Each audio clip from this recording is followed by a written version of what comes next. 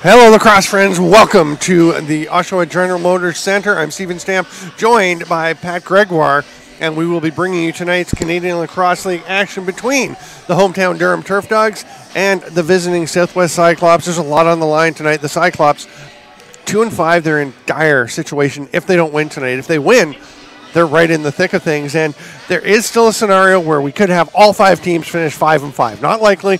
A lot of specific stuff has to happen, but there's a lot still up in the air coming into the second last week of the season. Yeah, absolutely. And that's kind of the, the beauty of having a smaller league, whereas, you know, if you do get caught back a little bit at the start of the year, if you do collect those wins, next thing you know, you're right back into things. So, uh, no doubt tonight, it's a huge game for Southwest. And I mean, even if you look at the Turf Dogs, uh, Oh, with yeah. a win tonight, they now are tied with Barrie Blizzard. So Exactly. And with a loss tonight, they've got the Cyclops nipping at their heels, and they play again next weekend. So it, it's a big game for Durham. It, it looked when they won three straight games, all the home games, it looked like they were really on a bit of a roll. Then they lose three straight games, all on the road, all very close. Um, I think when this Durham team is on their game, I think they're as good as anybody in the league, but you can say the same about most of the teams in the league, really. Absolutely, for sure. And I mean, you do look at uh, the Durham Turf Dogs. Couple of big losses uh, with Jesse Guerin to injury, Mm-hmm. and then Thomas Hogarth going up to the NLL, which is, you know, at the end of the day, this is a developmental Yeah. league, so it is good to see. But I know the Durham Turf Dogs. That's a lot of points coming off the board there. Well, the thing is, Jesse Guerin is your offensive facilitator. He's also uh, doing a great job killing penalties and things Yeah. for them. I mean, playing such solid defense. He's so smart that he does things and so aware. He does things that you don't hardly even notice until you almost stop and think about it. And he did so much for them. And then Hogarth stepped up big time Oh my gosh, when, when. Guerin left and was leading the team in scoring. All of a sudden, he's off to play defense in Vancouver with the stealth, which is again great for him. Mm-hmm. But you know, Pete Rennie goes up to the New England Black Wolves. Uh, how long he's going to be there is hard to say because they've got Andrew Suter and Mike McNamara coming back soon Mm-hmm. off of knee injuries. So his time with New England is probably limited. I'm sure they'd love to have him back, but they're, they've been so banged up. They've got a bunch of new guys in the lineup. Uh, they've got Travis Zabolts they picked up from Yep. Barrie. Will be wearing number 66. They've got Brandon Armstrong and Brendan Monroe have been added. Derek Hopcroft is back. Uh, you know, they've got a lot of new guys. Uh, um, Tim Bergen is back. He's played one game with them, and he's he. I mean, he's had a huge couple seasons in Senior B. So a lot of changes, which can help, but it, it's hard at this point in the season to just mix them in. Yeah, absolutely. I mean, you, you could tell just looking out on the floor during warm up, just even, you know, visually, it's a different Yeah. team. So we're, we're going to have to definitely take an eye and see if this team can gel early. But there are some, some names in this lineup that, you know, Dylan Goddard, for example, Yeah. you know, he's had himself a, a solid season, 28 points so far on the year. So, you know, it, but it'll be interesting to see if he can still continue the same thing without Hogarth and Guerin in the lineup. yeah, the pressure kind of increases when you've got to take more of the role. But Tim Bergen, I think, will help with that. I think Travis Zabolts, who had led Owen Sound in Senior B last year, last summer in scoring, can make a big difference. It's interesting because he, he didn't play for a bit for Barrie, then got into a game and looked really tentative for the first half of his first game, and then start. You could just see him getting more and more comfortable. And I talked to him afterwards, and he said, "Absolutely, I was so nervous." and then he got a hat trick in that game. Yeah. He can shoot. Oh, yeah. And he was looking really comfortable by the end, so he, he can bring them some help. Um, Derek Hopcroft, who hasn't had a chance to play much this year, is a huge addition. Um, what I mean, he's played three games, he's got nine points, but he can do so much for a team again all over the floor. Oh, absolutely, and he's you know he's such a threat offensively. He's got that outside rip, so it just changes a dynamic as a defense. Now you got Hopcroft in the lineup. The defense are definitely going to have to key in on mm-hmm. him, and you know Southwest they've really struggled to keep the ball out of the net this year, Yeah. and that's not really a knock against their you know their defense or goaltending, but mm. they do they you know they're going to have to tighten it up, and tonight's going to be another test with this new look Durham Turf Dogs offense. Yeah, it absolutely is, and you you've got to think that Southwest also is trying to find ways to make the the offense click. Dan Keene and Jordan Dance have been outstanding for them. They're really tough to stop. But we were talking before, you can kind of let them have their ten points between them, and if you shut everybody else down, which has been happening fairly fairly consistently, they don't have a lot else that's really happening. We're going to uh, we're going to be going to the national anthem shortly, but we'll talk till uh, till they're ready to go with that. But Southwest has to find something from some other guys, and it was interesting watching the uh, the penalty kill and the power play working in the warm up. They're just running through guys through the PK. yeah. Okay, we're going to go down for the national anthem. We'll be back for the game.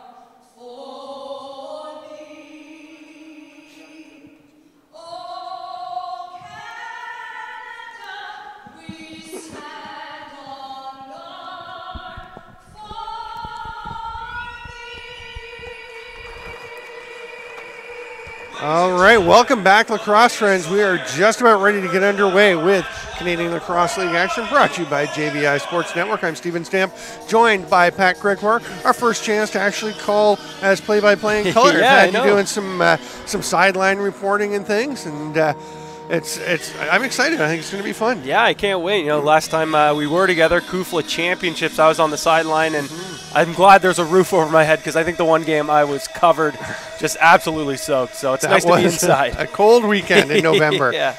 Graham Bergsman heading out for the face-off. He was picked up by this team partway through the season after Barrie let him go. He, uh, or sorry, Niagara let him go. He just got into the one game and wasn't very good. I talked to him um, about it afterwards and said, "Yeah, you looked um, a little ner- like a little, you're trying to get your feedback under. You were." Uh, uh, he goes, "I was awful." I'm like, "That's the word I was looking for." Yeah. But he's definitely been getting better every game. He is a prototypical CLAX player who can play either end Absolutely. of the floor. And, um, and he is just waving all his guys back into the defensive side for the faceoff. He'll be going up against Patrick McCrory. Bergsma, who was a uh, an ace faceoff guy in the NCAA, and he pulls it out, but it looks like it's going to be. Oh, everyone's just going to keep fighting for it. Nobody can pick it up. They are battling hard for that first possession. Nobody's had it yet. And eventually McCrory gets it himself. Jacob Kranz all over him. The Turf Dogs will start up the floor. Bounce pass gets away from Travis Zabolts. Nice job getting Zabolt's name on his jersey already. The shot just misses. Big man picked up from Barrie in a trade after those these Barrie and Durham had a contentious weekend home and home series. Uh, you you talk about Graham Bergsma. You know he, he's, exactly that. He's that you know all around player. He's not going to blow you away with any offensive crazy offensive talents, but he will chip in as well. There's Blair Goss up playing offense. There's another guy who's more of a defensive guy, and they actually had Bergsman in the power play during the warm up for a bit. So, you know, they're looking for whatever they can get from their contributions around. And there's Derek Hopcroft, not quite accepting the pass from Dylan Goddard. Look for that combination to be working together all night long. John St. John on his offside gives it up, heads over to his own side. McNulty gives it up. There's Goddard's shot off the crossbar. Had, had uh, Grant Crawley fooled. I don't think Crawley saw that at all. Now Goddard goes to Hopcroft. Shot saved by Crawley. He was ready for that one. Long outlet pass is going to be picked off, though. Nice job by Goddard to hustle back and take that one away, and they're going right back to the offense. Yeah, Durham wasting no time moving the ball around here. They're definitely playing an up tempo st- style of offense. Hopcroft rips that pass across, gets it back. He's going to shoot, stopped by Crawley. Hopcroft was one of the hardest shots you will see in the Oh, cross. yeah. And that pass was probably harder than most people shoot. Eric Petrie running down the floor. That cannot be Eric Petrie. It's Spencer Pike. They just don't have, they still have the Petrie name on there. Yeah. So 44 is Spencer Pike. There's a pass across by Zabolts. And the shot is stopped off the stick of Nevin Sullivan. They're battling for the ball behind the net. They get it away from the big defender and uh, get the ball back. If first penalty is coming, Durham's going to be on the power play unless they can score here. Zabolts will shoot offside. It's scooped up. And Durham goes to the first power play. Looks like Southwest playing like a team really desperate for win, uh, win, but just really forcing the ball. We saw two really bad turnovers. And when a defense gets caught out there, do, they do get tired and they tend to take a penalty, and that's exactly what just happened on that play there. Yeah, you start chasing and, and you get behind. You have to use your stick more mm-hmm. than your feet. Reed Board is heading off. It's a high sticking call. And Durham will move it around the outside for now. Now they start to try and cut through. That pass skips away from Cody McMahon. He's pushed down from behind by Jake Kranz. And Durham will get the ball back in a fresh 30. Goddard is up top. He's going to go down low to McNulty. That pass gets away from Hopcroft. But again, Goddard is there to stop the ball from going over center. It is an over and back rule at center in CLAX. Nice pass by McNulty. Fake by Hopcroft, goes up to Goddard. It's knocked out again and again. Durham gets it back. Oh, and that is a tough break for Southwest. It was called possession. Oh, and they are gonna they're gonna call it. I think somebody threw the crease, which was a makeup call. Yeah, absolutely. They missed it. Here's Dance. Oh, first goal of the game, Jordan Dance beats Lucas Coote. Coote was terrific for much of last week's game in, in Barrie, but Jordan Dance all alone, and he's tough to stop. Yeah, absolutely, especially when you get in tight there. You know, Coote has no chance on this one. Just, you know, a beautiful move. And like you said, when, when you get a, such a skilled player like Jordan Dance, you can see him here coming in all alone, just a fake – puts it low, and it looks like Coote might actually even had a little bit of a piece on it there. He got some of it, but it just goes in off the the post. Bergsma wins that face off to himself. Farthing all over him. Farthing's the man who was chasing Dance coming off the bench, but Dance was wide open, and boy, Durham controlling play, stem to stern, and almost going down two nothing. The short-handed goal by Dance. Durham finally getting the ball back up over center. Jake Kranz jumps out, and Brendan Armstrong steps over center. That is just a a, a, bit of a boneheaded yeah. mistake. Yeah, you gotta you gotta give credit to this Southwest uh, yeah. penalty kill, doing a fine job last there, getting their sticks in the lane. Here comes a break. Nice job though by Dance to get back and avoid the breakaway by McMahon. There's Goddard going to the net. He is so dangerous, but Crawley saw that one all the way. Yeah, the way Goddard shoots though, he doesn't he doesn't blow you away with a hard shot. Oh, here they come the other way. The pass from Keenan, and the shot just stopped off a Gage Board. Board so active and dynamic in the offensive zone. Not a huge finisher. Boy, if he had the hands of Dan Keene, yeah. he'd score 30, 40 goals a year in this league. Absolutely. There's Keene running behind the net. Lots of time left on the on the shot clock, and they get the man out of the box. Board gives it off to Dance, who scores. Skips one through from the outside, and it is 2 0 Southwest. This is exactly the start that uh, this is the, exactly the start that Southwest was looking for. I mean, off the hop, you know, those few turnovers, taking mm-hmm. the penalty. But after that, you know, they really got that spark from that penalty kill, yeah. you know, with Jones Smith knocking down a ball, Spanger now knocking out a ball, yeah. Kranz really high pressure. Next thing you know, you look up the clock, and they're up 2 nothing. Yeah, and it was a big call when they did the refs did call through yes. the crease, and it, and it was a good call mm-hmm. because the ball was not possessed by Southwest. There shouldn't have been a reset, and uh, that would have been. A, it's tough when you kill a 30 second clock, and there's a penalty coming. That's Zabolts. A check from behind on Jordan Dance. Looks like the Turf Dogs will pick up the ball. It's Ryan McCrory come up with it, and now Zabolts will go off to the penalty box and Southwest, who were absolutely dominated for the first two and a half to three minutes, are up two nothing and go to the power play. Yeah, exactly. That's what you mean. that first two minutes, it was just all turf dogs, but a couple little breaks here and there come for Southwest, and next thing you know, they're leading. We talked about you know the dynamic of this offense, so definitely look to see Dan Keene quarterback this offense for Southwest. Yeah, they're going heavy right. Three righties. They actually spent most of their practice warm-up time with three lefties out there. Gage Board's going to shoot. That one stopped by Coote. Ball is loose it's picked up by Dance, a fresh 30. Keene taking his time. He can score from up there. You can see how it's drawing the Durham defense out. Nice pickup by Corbett. Had to use his body as that took a funny bounce off the boards and then a bounce off his shoulder, but he tracked it down. Keene fakes behind the back, goes to Dance. He is leveled just as he was getting that pass. Nice job by Board to step in and get the shot off after picking up that loose ball. Board gets it back. He's going to fire. No, a pass. Great fake over to Corbett, but Coote moves quickly across. Fresh 34, the Cyclops. Dan Keene moving it over. Keene gets it back at the top, a little flip behind his back. Hesseltine will give it back to him. Corbett's down there waiting. Dance to Board. Good movement by these Cyclops, and that is one of the keys for them, trying to get everyone involved. It's picked up, but they get it back. Uh, Brendan Monroe just couldn't hang on to that one. That's real good pressure by this power play to, you know, get that ball back. And a really tired penalty kill. I guess especially the guys up top who are having to chase. Armstrong and Sullivan. There's a shot that misses by Board, and Durham's going to run the ball up the floor. And I'm not. And Nevin Sullivan is stripped. I was going to say I'm not sure where he's getting the energy, and apparently he didn't have it. Southwest gets it back. 15 left on the power play. We'll see what they do. They've got some time to get a shot off if they want. You just got to be careful. Not that Zabolts is a is a speedster coming out of the box, but you don't want to leave him alone up the floor. They're going to wait until he comes out so they don't risk a ball bouncing out. Zabolts comes back into play defense. The shot by Corbett goes wide. Nice job keeping it out of the Durham bench by Gage Board, but they're going to run out of time on the shot clock.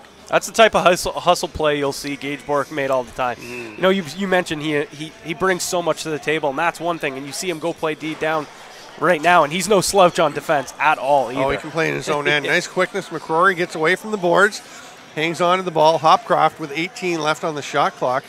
St. John looking for the shot. He's loading up. St. John, who had 92 points last year in his last season of Junior A. Oh, and Hopcroft misses on the far side. Just four seconds left on the shot clock, but it is picked up by Board. That's a long shift for him. Very he's going to look to get off the floor. He's trapped over on the far side. Now he's tripped up by Mark Vredenberg. I think the Cyclops wanted a bit of a tripping call, but there's a save by Coote. It's going to bounce out, and Jake Krantz will try and track it down. A sprint, though.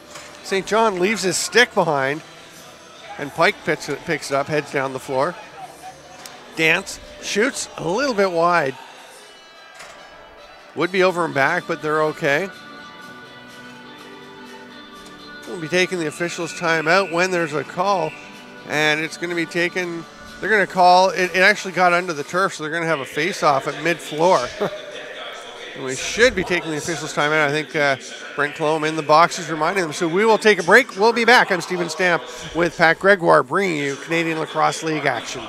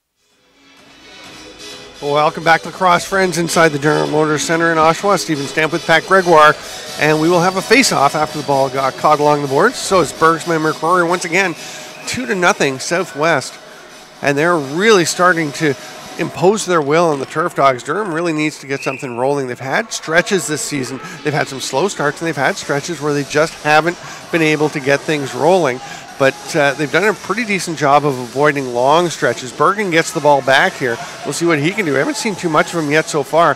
He makes the pass across. Nice movement, but stepping in the crease was Cody McMahon. Spanger's looking up the floor, the Cyclops captain. Has to slow things down, but you can see Southwest will look to run the ball at every opportunity. Dan Keene takes it. Goddard watching him. Slips by, throws it back, and there's the shot by Jones Smith. And that one bounces well up over the net. He missed that by quite a bit. Yeah, he looked down at his stick there. Might have hooked a little bit, but definitely not a take. I think uh, the coaching staff's going to want him take. That's early in the shot clock.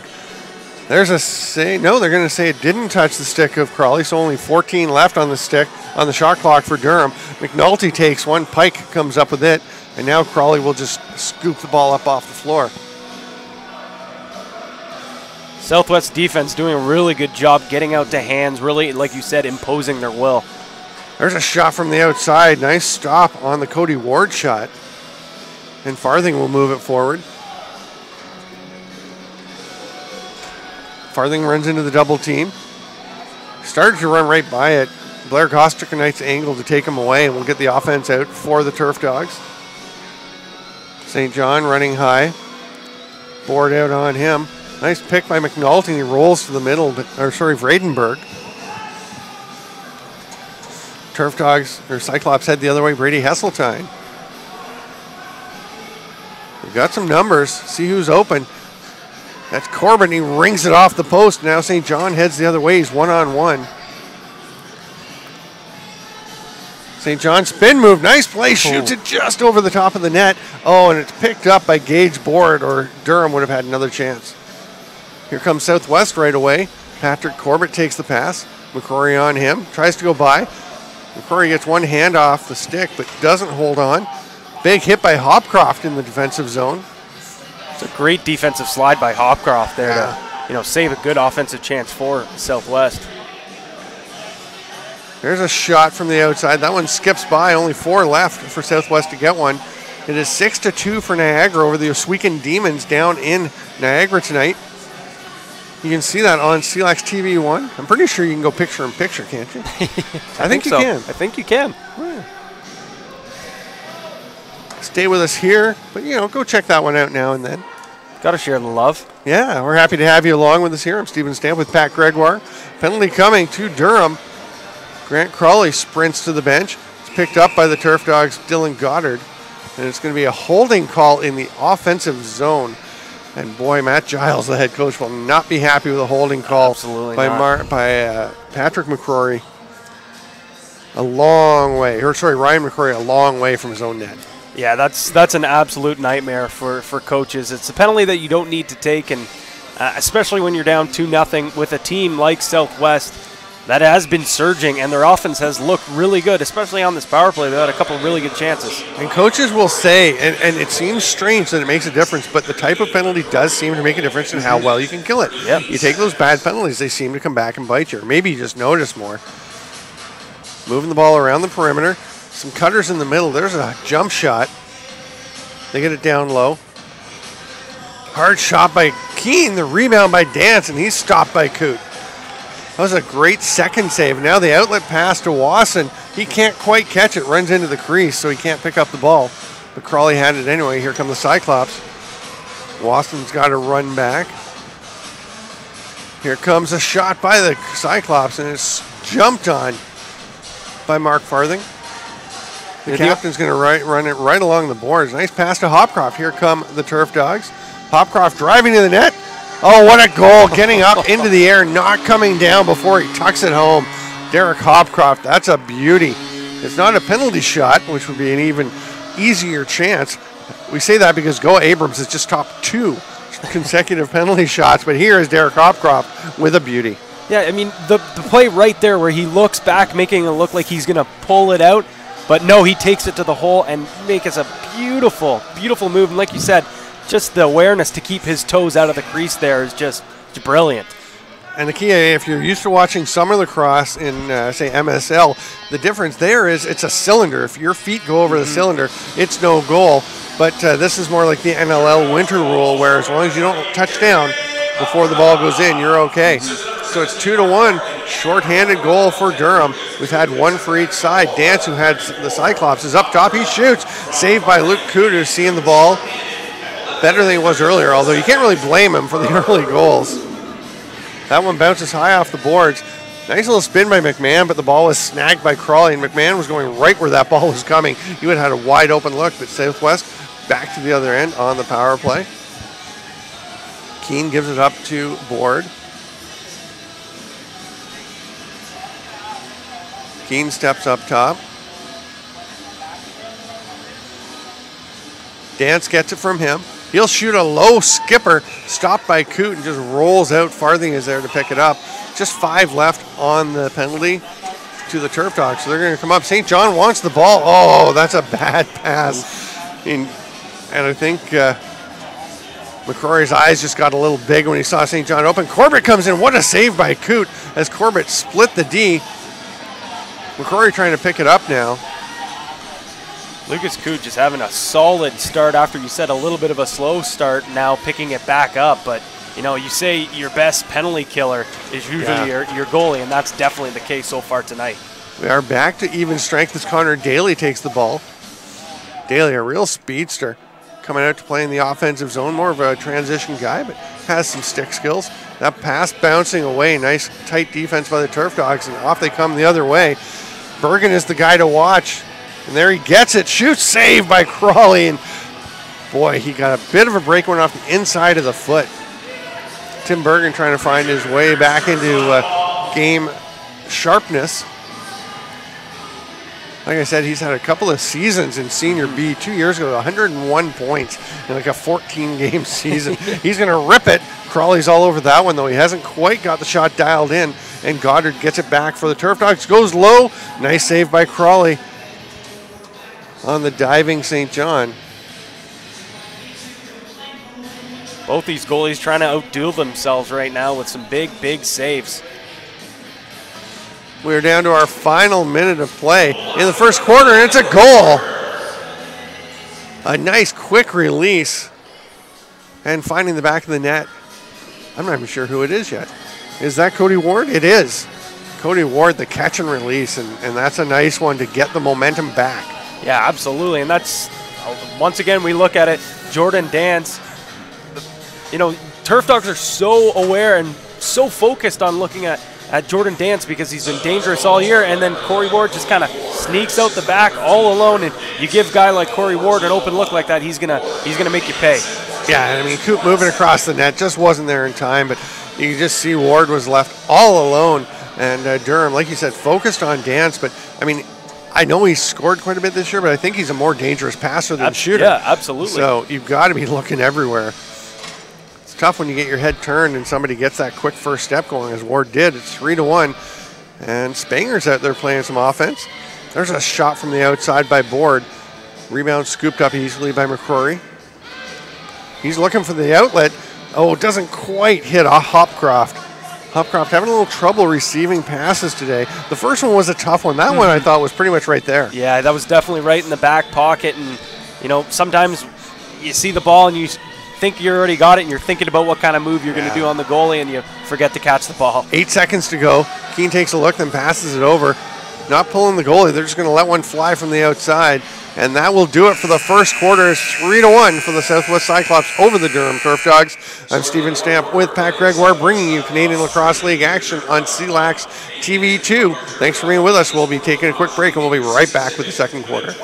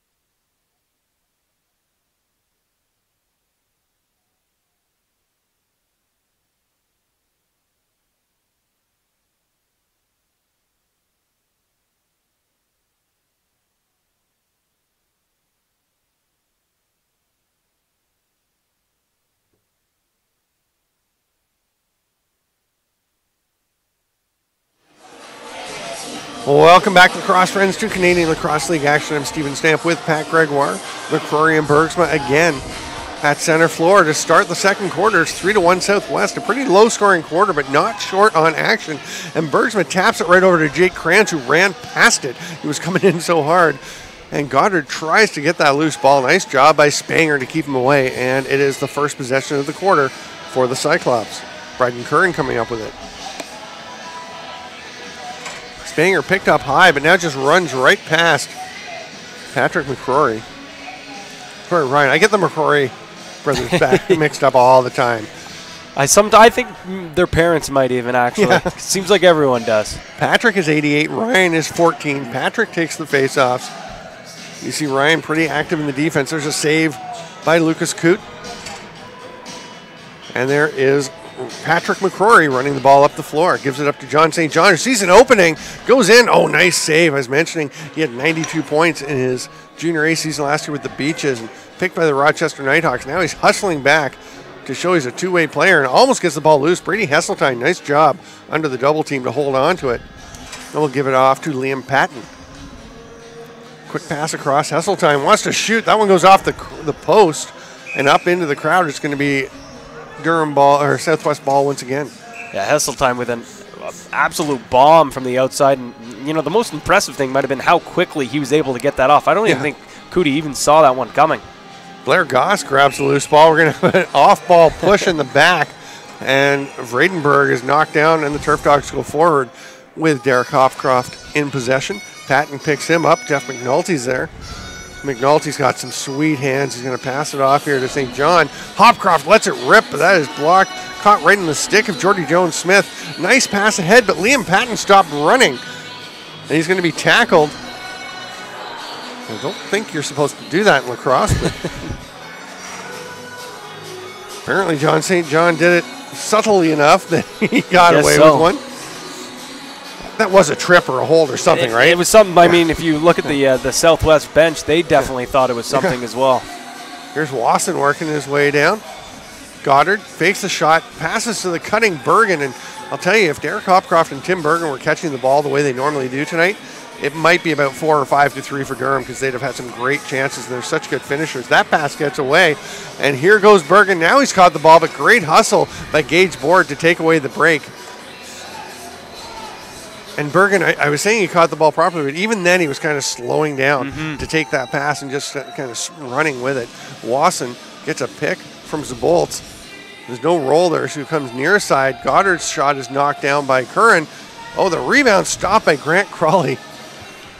There's a long outlet pass picked up by Curran. He's stopped by Coote. He didn't have a lot of places to shoot, not no. a lot of options because he had the trailer right on him. Here comes McCrory the other way. Oh, there's a wide open man, and that is McCrory from McCrory. Patrick passing it ahead to Ryan, who tucks it home.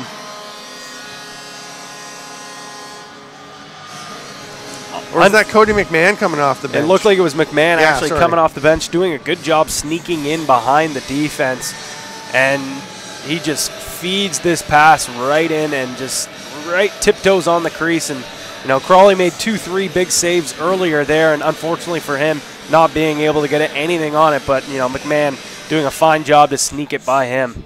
Now, if you're not familiar with CLAX, the, I mean, this this period is in every kind of lacrosse. Oh, here comes Vredenberg driving down, pass across, can't be caught there by Brandon Armstrong. And Southwest Spanger will come back the other way, but you do have, as with all lacrosse, the long change here in the second quarter, which can lead to a, a more mm-hmm. wide open game. But with the changes, change rule, it can be even more explosive. There's a shot by Dance, and that one goes wide off the backboards to Keene. He ducks down, gets it back. Oh, what a save by the post, I think. But Coote was looking at it. Here comes McMahon. He's going to try and get another one. And I think Matt Spanger may have actually helped him create some space. And McMahon, who had a hat trick last week, gets his second early in this game. Yeah, just takes a real nice bounce off the post, like you said. He was able to, you know, pick it up, track it down. And like you said, I think you might be right. When Spanger gave him a little bit of a push, it did create that separation.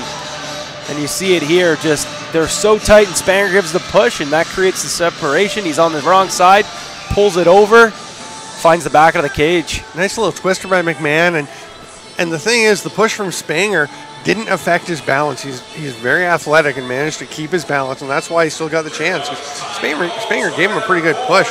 There's a shot from the outside, trying to take advantage of the momentum. Doesn't touch any red jerseys, so it'll be Southwest ball going back the other way. Yeah, you talk about that Spanger, such a big body, shoves Yeah. McMahon, who's you know a lot smaller than him, but you know McMahon very solid and good low center of gravity on the guy. Yeah, he's steady on his pegs, that's for sure. Nice fake, and then the pass across, and Jones Smith wasn't quite ready for it. When you're on the crease, be ready at all times, Jordy. There's the pass up top, and a fresh 30 as Gage Board takes it. Jones Smith will take the ball now. Oh, nice fake by Pike. The toe drag gets himself open, but Coots there to make the stop. We've seen some fine goaltending in this game, and that shot by Pike, he was just kind of drifting into the net, into the crease backwards. Yeah, you talk about that uh, toe drag move by Pike. He actually had a beautiful goal last year, one of the plays of the week, or sorry, last week. One of the just almost the exact same thing, but he finished short side on the goal last week against the Demons. That pass doesn't connect, and then Hesseltine knocks down the man going for the ball, and that's going to be Durham possession and a fresh 30. Bergen's out there at the top, moves it across. Goddard looks for the roll man. There's a shot by McNulty. Spent some time in the NLL. Durham really likes what he brings to the game. He's going to go back and play defense as Dance will traipse over to the far side of the floor. That pass is high, but it's tracked down.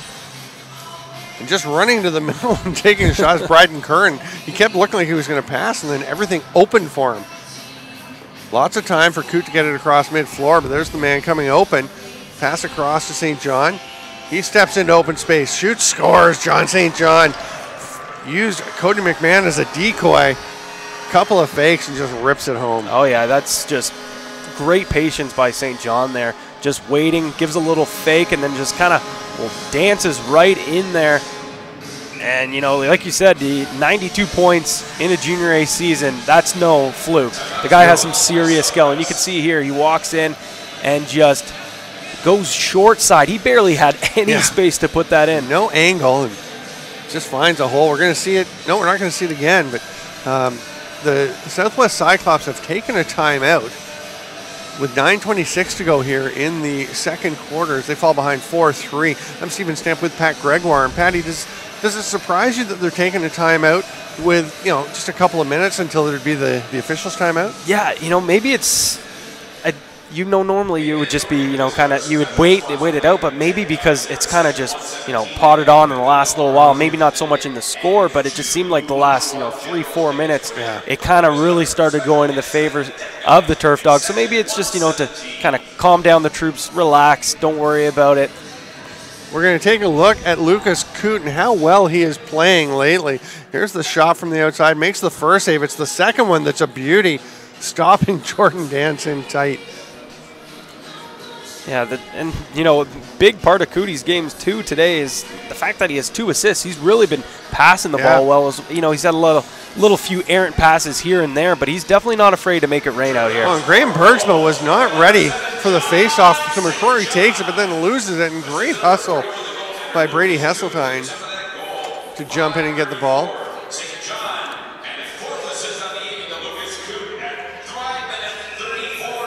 Kind of a moving pick given by the Cyclops. And there's a long pass, but way high for Goddard. Nicely scooped by Hopcroft. He's on his offside. Didn't have any angle, so he holds on to it. Nice Smart job play. picking up Goddard in front so that he couldn't get a chance. Cross-handed pass by Zabolts. St. John rolls off that, looks for the pick, gets it to Hopcroft. Oh, can't quite connect with Zabolts. And we talked before the game about how there's some talented additions to this Durham Turf Dog lineup, but they're not used to each other yet. And you can mm-hmm. see maybe that that little like early season look to some of these guys, even this point in the season. Yeah, absolutely. Jones Smith wide open shoots, doesn't score. he started to put his hands up, dropped them, and a penalty coming to Jones Smith for checking in the crease. You can go after the loose ball in the crease, but once the goalie has it in his stick, you can't check him.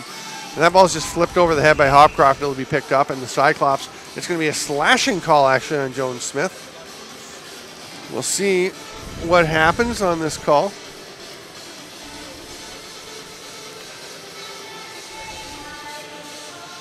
Here we go. Smith, Jones Smith, going to take the shot.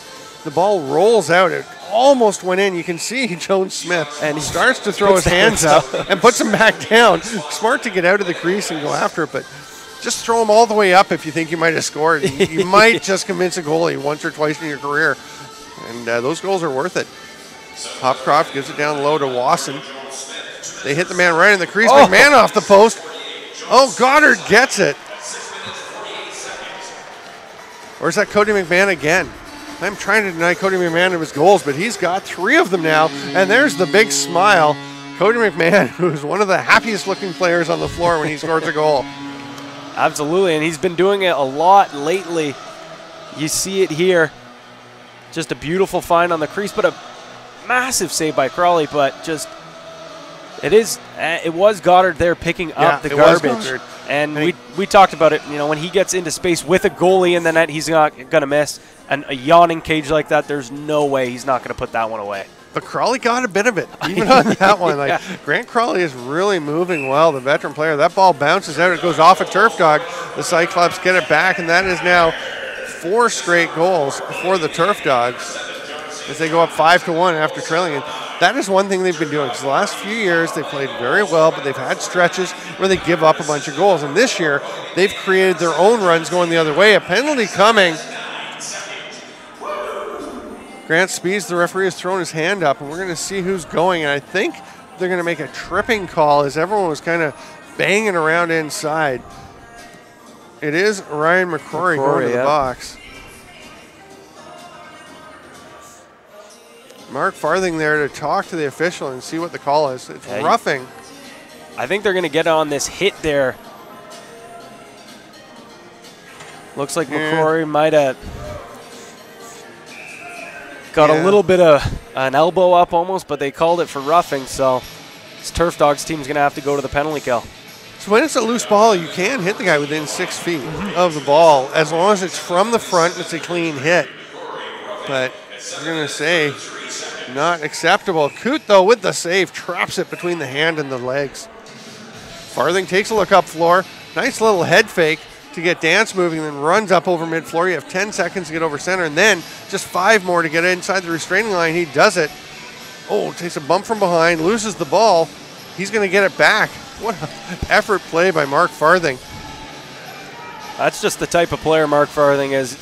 Oh, what a goal! Josh Wasson. We haven't seen him do a lot of that lately, but he's going to point up to some friends up in the stands.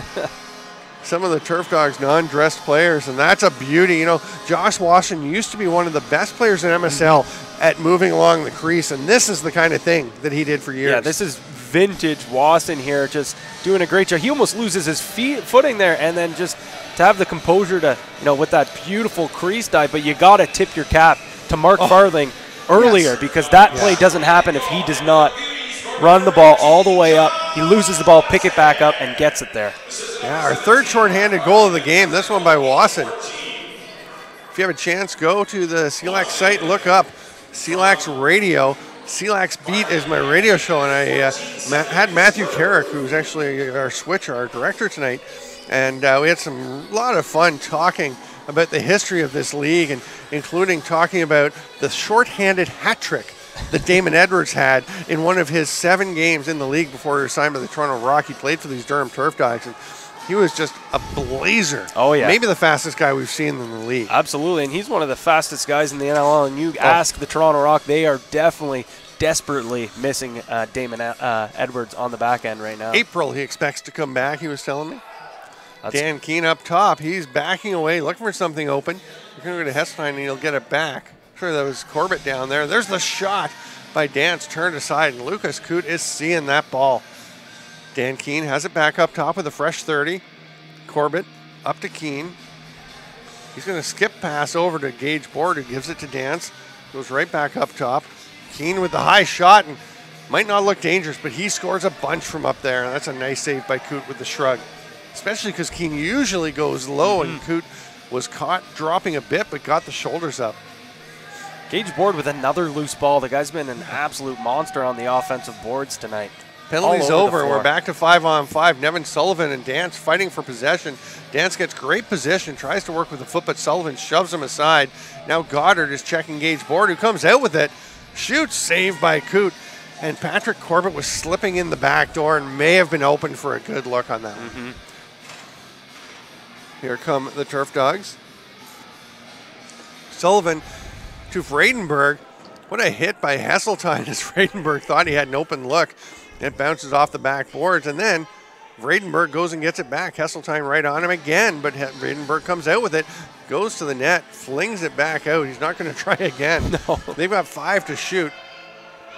Expect Wasson to just rip it, and great job to fire it low off the pads and get a reset. That's a veteran play. You see the clock ticking down, just get it on net and you know it gets out of play and they're going to get possession after this uh, break we'll take a quick referees break we'll be back with more the rest of the second half the second quarter of Lax lacrosse on JBI network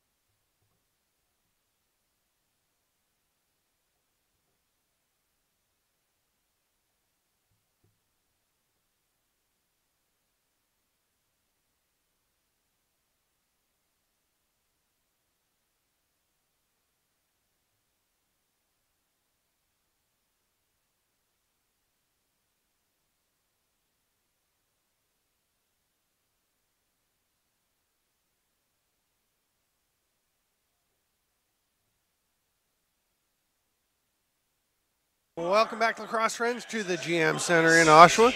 I'm Stephen Stamp with Pat Gregoire.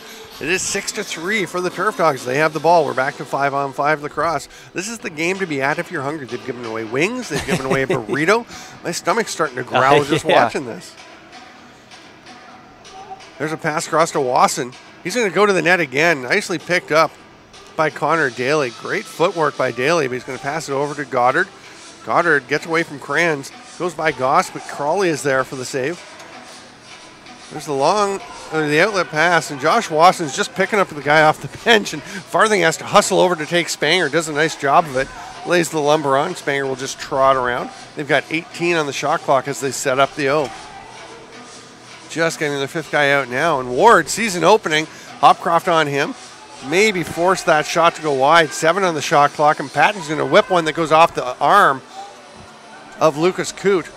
And now Gage Board with another loose ball. He's got to have seven or eight yeah, so far in this first half. Three and a half minutes to go in the half. Nice fake in the shot, but Coote is there to stop Reed Board on that one. Lucas Coote, who was a fairly long time Whitby Warriors player, mm-hmm. and uh, had a pretty solid junior career where, where, he was never really the key starter for them until his last season. Splitting time with Alexis Bouquet did win a championship or two. That ball bounces out and Gage Board again with the loose ball. He's knocked down though and it's stripped. Bergen picks it up. Turf Dogs trying to put some pressure on across to McCrory. McCrory with a couple big hits in this game. Goddard stripped by Gage Board as he goes to the net. Man, Gage Board is having himself a game. I every time I see him play, I'm so impressed with just the, the level of effort and the, the small things he does at both ends of the floor. This one comes across to Hesseltine. Again, the Cyclops just getting their last offensive guy out with about 14 seconds on the shot clock. Jones Smith kind of took a shot to the chops, but it's scored by Jordan Dance. Jones Smith will pay that price to open up some floor room, and Jordan Dance bounces one in. Dance there with the the hat trick, and he was almost up in our press box here. That's how far he was on our other Yeah. side. But that does not matter as he's got an absolute cannon, and it's a skipper here. You see that, like you mentioned, the nice pick comes around. Beautiful skipper. Coote has been playing fantastic today, but uh, a absolute great shot that you know he really didn't have a chance on. Yeah, Dance running to his offside and bounces it inside of the post. Dan Keene opening up some space with a little pick there. There's a shot by Sullivan. Ball picked up by Kern along the boards. Six to four as we approach the final two minutes of the half. Not the highest scoring game still, but boy, it's been exciting. Keene rips it, knocked down by Zabolts, making it doing his best Thomas Hogarth impression. And here comes Derek Hopcroft. This is trouble for the Cyclops, but the Oh. save by Crawley gets them out of it, and they're going to go back the other way. Nevin Sullivan just stood back to try and take away the passing lane and picks off the pass from Jordan Dance straight into the stick. We're going to have an extended halftime of 18 minutes. So uh, you can stay here. The UOIT, University of Ontario Institute of Technology dance team will be performing, or you can go over to CLAX TV 1 and uh, and check out Niagara this week, and we'll try and get the score for you in that one if we can share it with you. That pass is picked off by St. John, or is caught by St. John. And there's a shot just before the buzzer goes, but the Cy- Cyclops get the ball anyway. Josh Wasson will pick up board coming off the bench. That's Reed Board. Final minute of play, 6-4 Durham. I'm Stephen Stamp with Pat Gregoire. Thanks for being with us for what's been an exciting first half of Canadian Lacrosse League action. Reed Board with a little toe drag. Another fake comes down, now passes it up top. And there's Pike with the same move he made earlier. It works to perfection, but he can't bury it. That's twice now we've seen him with Yeah. that move, and you think, you know, as a defender, you know it's coming, but sometimes you just bite on it, and you can't do anything about it. Goddard his offside. How did that ball go in? Oh, We've seen Goddard shoot from this side just on the run like that and pick a spot, but that is just an astonishing shot. you know, Dylan Goddard, that's the type of player he is. Doesn't matter where he is on the floor. He is not afraid to shoot from there, and you know he just proved why he does it because he can pretty much score from anywhere. Just a terrible angle, and you can see here on the replay that he's just on the his, he's almost at goal line extended, and he just puts it in with ease. And we talked about it earlier. We said that he doesn't shoot hard, but boy, is he accurate. I actually, watching the replay, still don't know where that ball went in. Yeah. I, I don't think it was over the shoulder of Crawley, who's jumping out of his crease to get this ball off the faceoff. Maybe it was hip high, but somehow Goddard found that spot, and that pass is picked off. Here comes Zabolts. He's going to have a chance to shoot on his offside. Crawley stops that one. Oh, now wide open on the top. Oh, and Crawley again stones McCrory. Zabolts is going to try and get the loose ball. Gets it. We're into the final seven seconds, and Durham will take a timeout. 5.2 officially on the clock up above. I'm sure they'll see if they can get a couple seconds put back on. Lucas Coote will come to the bench for an extra attacker, having given up just four goals. And boy, Crawley's been good. Coote's been very good. Yeah, both these goalies, both these goalies just you know out dueling each other. I mean, we're gonna see a few here, Here's- and yeah, here's Lucas see- Coote. And he's going to stop. There's that toe drag again on Pike. And that's a big save on the second one. Just robbing Jordy Jones Smith. Boy, Coote's been sharp. Yeah, absolutely, he has. There's you know, and that's the and that's and that's the thing too with with Coote. It's not even just the first save; it's been the second Yeah, save, and he's yeah. so athletic, being able you know to get back into position, and uh, we mentioned it earlier as well. He also has two assists and made some good plays from his crease, scooping up the ball, getting up the floor, and that's you know been a big part to why this Durham Turf Dogs transition game has been so strong. I'm laughing because Grant Spees, the referee, came out of the talking to the officials in the box, put seven fingers up in the air to say you're going to have seven seconds, and Cole Murray, the backup goaltender, put ten fingers up, which is very ambitious because there was definitely not more than seven and a half seconds when the whistle no. blew. No. Bergen has it over to McMahon. Goddard, he's going to have to shoot. No, he's going to go down low, and McNulty gets one off. A great chance. And boy, they almost got another one on the rebound, but it is seven to four as we go to the halftime. Again, you can stay with us and see the UOIT dancers, or you can watch the other game on the other channel. And uh, the score over there, what's the score? Seven to three for Niagara over the Ohsweken Demons. So you can go check that one out. And uh, Pat Gregoire, a pretty solid comeback for the Turf Dogs, who controlled play early, then really were going to kind of run out of their own rink and just they've got that composure this year to come back and get themselves back in a game. Yeah, absolutely. And it's, you know, we talked about it a little bit earlier. You know, this is a different dynamic offense. This is definitely, you know, you know, we, we do see some new pieces, but a big part to, you know, you know, cutting that that big deficit was you know the play of Wasson and uh, Hopcroft, two veteran guys. You know, Hopcroft not not a guy that's played on this on this team, uh, you know, a lot this year, only getting into one game, but he's showing how valuable he is. Not even just scoring at that big mm-hmm. goal, but slowing down the offense, really, you know, working the ball around as well, and you know, the, you talked about it earlier, saying that this is a team that kind of goes through those spurs where they can't really find anything. But tonight they've done a pretty good job making sure that spurt is not too big. Yeah, we are going to take a break in about 17 minutes. There'll be a lot of dance going on here. We're going to enjoy it. We're going to take a bit of a break. We'll be back. Pat Gregoire and I am Steven Stamp bringing you Canadian Lacrosse League action on CLAX TV2 for the Canadian Lacrosse League on JBI Sports Network. Thanks for being with us. It's going to be a lot of fun. Come back in about 16 minutes. We'll see you then.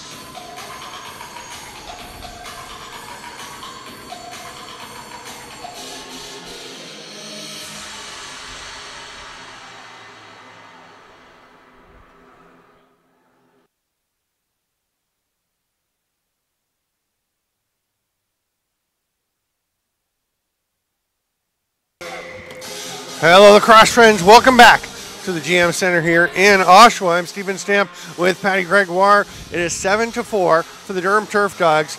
Uh, I was going to say we're thinking about you know who are the early candidates for three stars. Uh, Grant Crawley won. Jordan Nance with three goals and assists. At the other end, Lucas Coote. Lucas Coote has been excellent in net, and he's leading them in scoring. He's got five assists. It's unbelievable. We talked about how, you see Joel Watson's goal here, beautiful crease Oh. dive, and we talk about how good these goalies have been, but there's been no shortage Yeah. of highlight reel goals, and that being one of them. Yeah, Josh Watson with one of the three shorthanded goals in the first half. And, uh, well, how about Lucas Coote, though? I mean, all the saves, five assists. What a half. That's unbelievable. It's That's a season for most goalies. The Cyclops come up with the ball off the opening faceoff here in the second half. Graham Bergsma gets it, passes it to Jake Kranz, who's standing in the change box, and uh, executes a tricky little maneuver to get the Cyclops going on offense. They've got 15 to shoot after getting that first possession. Nothing going on for the Cyclops so far. Now they've got Ward is going to cut down, creates a lane for himself. But the save by Coote again. And a big hit. Looks like McCrory is down. He's separated from his stick. There's Goddard. That one's stopped by Crawley. Doesn't see where it is, and it's picked up sharply. In the other game, we're three quarters of the way through, and it's 11 5 for Niagara. That shot is up high by Corbett, bounces all the way back over center, but it won't be over and back because it's going straight to the Turf Dogs. They're going to slow things down a little bit. Bergen, though, will shoot and score. Tim Bergen on his offside. Just saw something he liked, and Grant Crawley would like to have that one back, more from a positioning than a stopping point of view. Yeah, absolutely. And, you know, maybe even Bergen just taking that shot, he really wasn't anticipating mm. him to take it. But we talked about Bergen being, you know, an X factor for this team and kind of trying to get into it here. And, you know, just a great look. But like you said, it looks like Crawley wasn't even really expecting it. But, uh, you know, once this once Bergen gets going, this could be a huge, huge addition for this already deadly Turf Dogs offense. Yeah, and I mean, we've talked about Jesse Guerin and Thomas Hogarth, their two top scorers, both missing, but they're just picking it up with no problems. And, and oddly enough, without a ton of contribution from Dylan Goddard. They move it around the outside. McMahon cuts to the middle, can't get it. He's got two goals and an assist tonight. Couldn't catch that pass, though. Vredenberg fighting for the ball. Eventually, Sullivan almost had it, but it's going to be Spanger. There's only two seconds left to shoot, so Sullivan checked by Skanger, Spanger from behind. Just the stick on stick. Nice check there. Long breakout pass to Patton. He can't get it. McMahon just ties him up. I'm not sure if Brendan Armstrong meant to do that, but it worked out pretty well. yeah. Little drop to the floor, jump up with the ball. I'm sure he'll take it. Oh yeah, and Daryl Gibson, the defensive coach, gives him a pat on the head as the Turf Dogs go up 15 to shoot. Bergen can't take that pass, and Patton's going to pick it up off the floor. Nice job by McNulty to get back, and the pass to Kranz doesn't connect. He goes up over St. John to get it though. He's checked hard by McNulty, and he gets the loose ball. Boy, Jeff McNulty's having a strong game, and certainly more in the defensive end. St. John's sto- shot stopped. Liam Patton got that with the stick, and here comes Spanger. We'll see what McCrory can do. Two on one, pass across to Board. Oh, what a beauty Oh, by Reed Board. Tell you, Gage Board has done a lot more all over the floor, mm-hmm. but Reed shows some nice touch at the finish. yeah, absolutely. Some real slick hands. And we talked about Matt Spanger. You know, he's also been all over, getting a nice assist here, mm-hmm. recognizing he's on his wrong side, waiting, waiting, and gives it a Reed Board. A great dip and dunk there, keeping his feet in outside of the crease. And, you know, a big goal for this Southwest team because, uh, you know, they were down four goals, now three. You know, they're just have to kind of chip away here and to get back tied in this game, you know, just almost halfway through the third. Yeah, and Lucas Coote was right on that shot. It was just perfectly placed by Reed Board. Ball comes out. Can't quite be picked up by Ward. So Durham gets the ball. I think Graham Bergsma's pretty much won every single draw. It's whether, you know, Southwest Yeah. picks up the loose ball, Yeah. but it seems like he's getting into at least a scrum every time. Sullivan takes the pass on the near side, goes across, hard pass, shot by Wasson, bounces up high, doesn't catch anything. So they've got eight to shoot as Farthing has it. He'll fire it down, a little spin and a shot. What a play there by Vredenberg, but can't finish. Sprinting up the floor. Cyclops looking for a break, but nice job by Durham to get back on D. Dance spin move, runs into three green jerseys, passes over to Jones Smith, who was starting to cut down before he had the ball in his stick. He'll go up high to Hesseltine. Hesseltine rips one down low on the far side. Well, more of a just trying to place that ball in there. There's another shot, another save, but it's picked up. Jones Smith with, with the quick shot. It's behind Lucas Coote, but jumped on immediately. Brendan Monroe running up the floor. Almost goes over and back, but just gets rid of it to Josh Wasson on time. Behind the back, what a save by Crawley on Bergen. Another save. McNulty was right there, and Crawley looking very sharp, trying to keep these Cyclops in it. If they don't win tonight with Niagara leading solidly over Ohsweken in the other game, it could spell the end of the Cyclops playoff chances. These Keene two- with the ball. these two goalies just out dueling them every time. Just you, I do, I can do it better than you can do it every time. It seems like. Keene trying to get by John St. John. St. John got a bit of a check on him, and the shot goes wide. Zabolt. Watched by Patton. The ball's knocked loose, and Patton's going to get it. Actually, it's scooped up there. And Corbett comes in all alone, misses the net.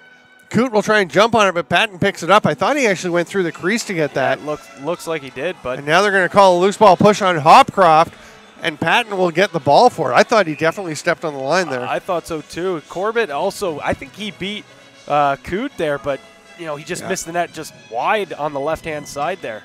Now he's going to try and make a pass. Corbett will throw it up high to Reed Board. Board, the latest goal scorer. There's Keene with the shot outside. Oh, hard off the crossbar, off the back of Coote, and somehow didn't go in.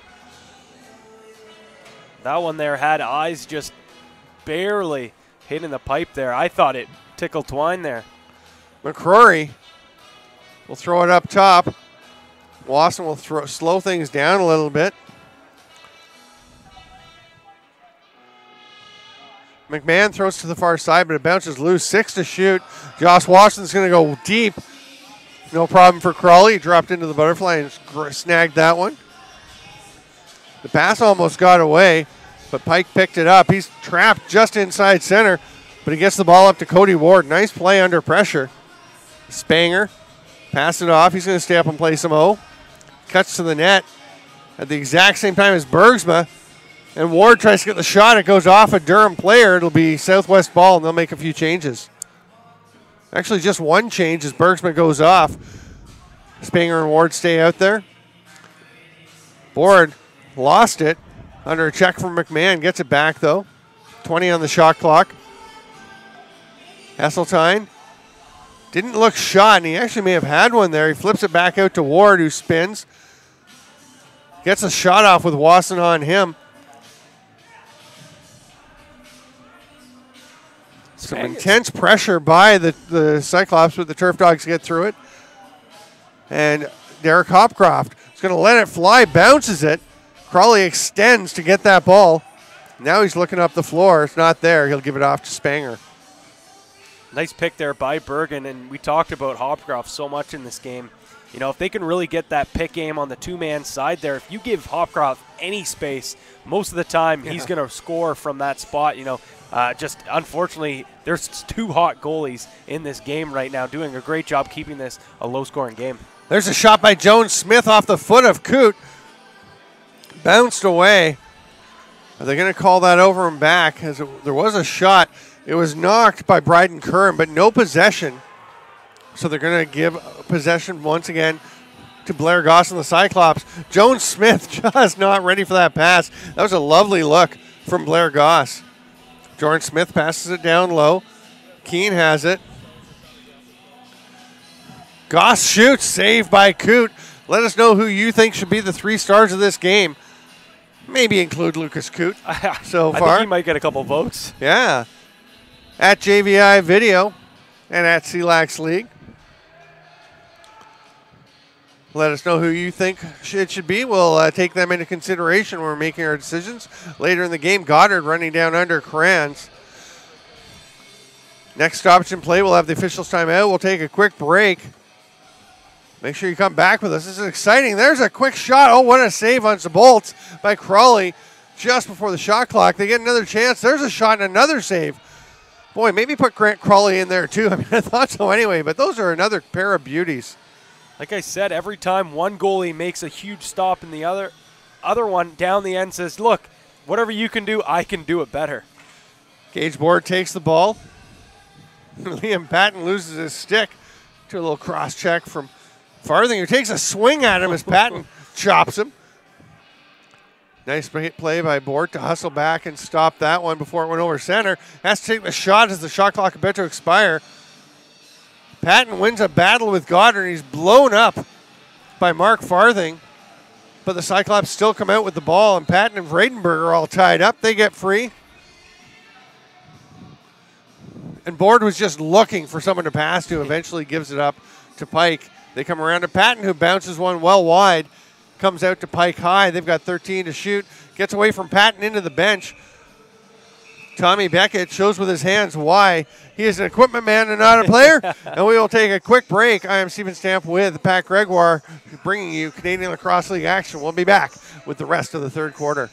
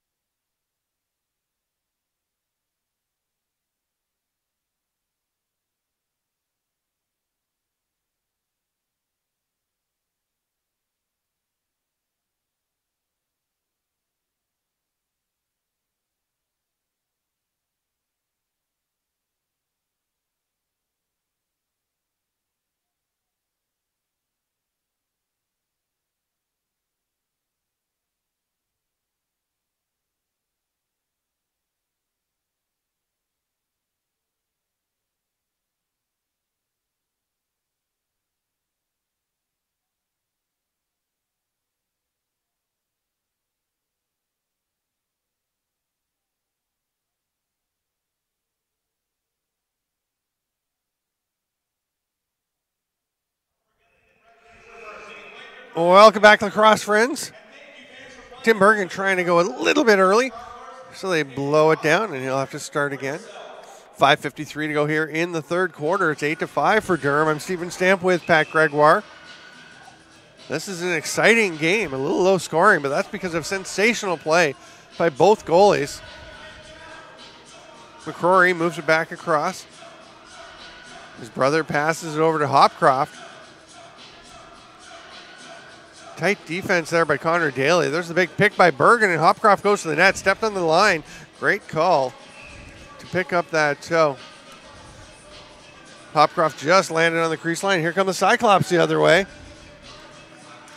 There's a shot going a little bit wide by Hesseltine. It's up in the air. What a nice job by Cody McMahon to gauge by Hesseltine the way he was looking when the ball was coming and just knock his stick away. That shot almost gets by Coote. Cyclops try and pick the ball up in the crease, but the Turf Dogs will come up with it. Such a smart play by McMahon. Now McCrory running the ball up the floor. Ryan McCrory, that is. He gets the ball down low and somehow hangs on to it under the intense pressure.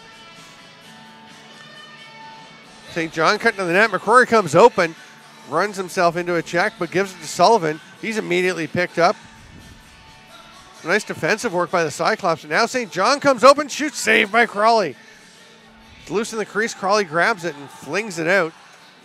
Yeah, the Southwest defense really upping the, the pressure here, realizing, you know, they're going to, you know, have to start playing with some urgency here. But, uh, you know, that's the thing with a guy like John St. John. You pressure too much. He's so, so shifty, so slippery. He's able to get away, and you're going to really need that backside help on the defense there. Keene sliding down low. Oh, a nice shot under pressure, but that one bounces just wide. Graham Bergsma looked like he wanted to reset. I thought it was pretty close, but probably mm-hmm. just mm -hmm. slid a little bit wide of Coote. Wasson with the lob pass over to Goddard. They go down low, and St. John looking for somebody. Sorry, there's McMahon. No, it is St. John. I thought with the, the way he was moving, the kind of the shoulder movement, it looks like John St. John. That pass gets away, but they'll track it down. They've only got four to shoot, though, and McNulty is just going to flip it over into the far corner. Let the Turf Dogs get back on D. Three and a half to go here in the third. Still 8 5 for Durham. Things not so close down in St. Catharines. It's 15 to 6 for the Niagara Lock Monsters, leading the Ohsweken Demons. So that's in the ILA in, uh, in. So a road win coming for the Niagara Lock Monsters, it looks like, unless the huge comeback comes. There's a shot and another save on Gage Board by Lucas Coote. McNulty comes up with the ball and makes a nice quick little pass out. Farthing, outlet pass. Here comes Vredenberg. Tries to run past Goss. He's going to go in behind the net. St. John's open. Steps out, pass across, knocked down. He had the cutter, but couldn't get it through the sea of sticks. St. John's going to throw it across now, and Hopcroft takes this pass. Eight to shoot. Farthing's back behind center, thinking the ball was about to be turned over. He steps in. Hopcroft is just going to turn and shoot. I thought he was going to go to Hop to Farthing for the long outside shot. I thought so too, but you know, Farthing heads up play, recognizing that you know there could have been a, a turnover there, and Farthing's you know he's such a smart, smart player. Yeah. You know, so fast, just so so tenacious, and you know he's just been such a big heart and soul guy of this team, not just tonight, the entire season. Yeah. McCrory takes the pass and gives it back over to the far side. Wasson kind of strong arms one to St. John. Crawley got that one no problem. St. John picks it up behind the back pass. Oh, just missing. That was Bergen. Comes straight back to him though. What a pass by St. John. Bergen just couldn't bury. it. I don't think Crawley even got there. No, Reset. 20 seconds to go for the Turf Dogs. Cyclops defense, you can just tell by looking at them gasping for air, really not pressing out like they normally do on defense here. Bergen trying to swim through. Corbett hooks him down. Shot from the outside. Oh, from his knees. That was Bergen, and they're going to say he landed in the crease with his hands. Well, the Cyclops are trying to play it, so Southwest will get possession. Just over a minute and a half to go here in the third quarter. Eight to five for the Turf Dogs. I'm Stephen Stamp with Pat Gregoire. As the ball is bounced up to Jake Kranz. Hesseltine's waiting for Spanger to come out and join them on O. Spanger will set a pick. Little roll, but Hesseltine holds on to it. Backdoor cutter, gets it to him. Dance with a hard shot. Coote tries to grab it. He swats it away. Now he's going to get possession. Hard work by Jake Kranz. Spanger playing a lot more offense here, whether it's in transition, and as I mentioned his name with a Yeah, great he strip. strips it there, and Kranz comes up with it on his offside. He's looking for the trailer. Has to. He runs into oh. Spees, who gets shoved into the boards. And then bumps him again as he gets up. Jake Kranz and Grant Spees, I'm not sure who got the worst of that.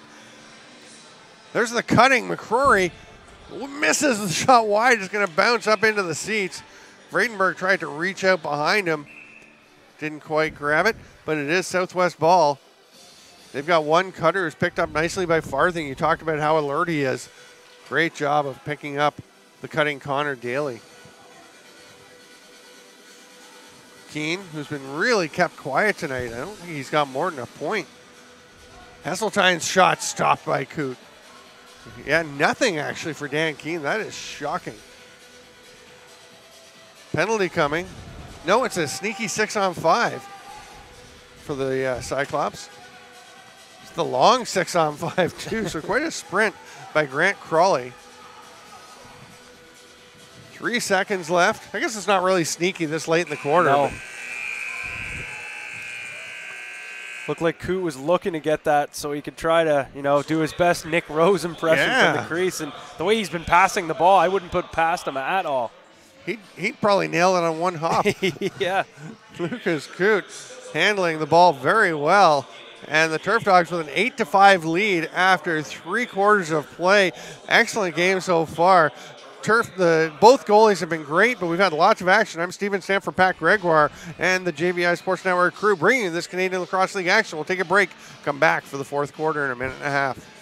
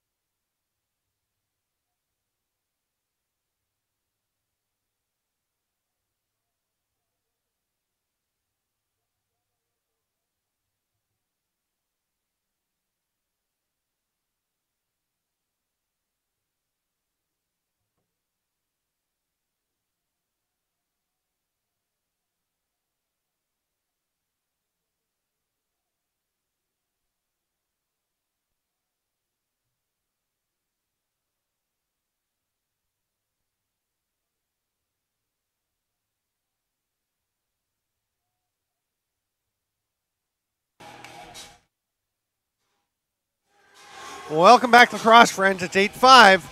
I'm Stephen Stamp with Pat Gregoire. The Turf Dogs lead.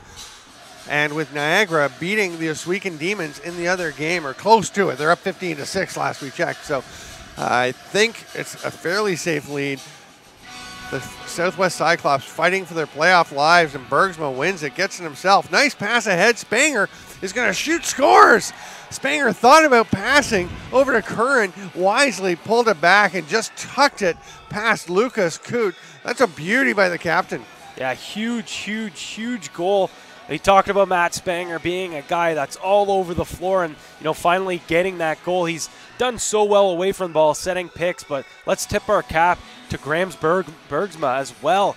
I mean, the guy's been an absolute horse on Yeah. the faceoffs, and he's been a real X factor for this Southwest team. Pulls that one back with his foot, and it's picked up by Kranz, who's running down the floor past Sullivan. Farthing there to turn him aside. He'll hit Dance on the coming off the bench. There's Farthing with another big defensive play. Boy, Mark Farthing's having a heck of a game. Curran runs across. It's over at the Air Quality Cross Arena. 16 6 was the final. So there's a save by the face of Lucas Coote. That pass gets away, and Southwest will get possession again. So Southwest, they've got to win here. And One, what better two. way to start that uh, first, or sorry, fourth quarter Yeah. with a huge goal from your captain as well. Here's Hesseltine shooting. Coote went down a little early, stopped another one with his face, though, as he fell.